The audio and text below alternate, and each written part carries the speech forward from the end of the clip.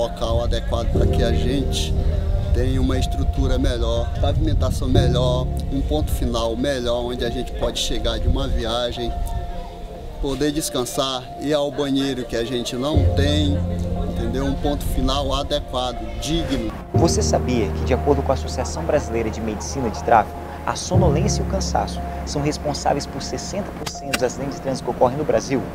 Para garantir segurança e qualidade no transporte público, como deputado estadual, irei defender a obrigatoriedade das empresas de ônibus criarem e conservarem nos pontos finais abrigos e áreas de descanso para motoristas e cobradores.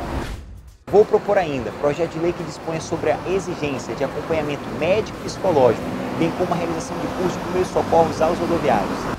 Já mostramos que é possível fazer e agora, com seu apoio, quero fazer mais.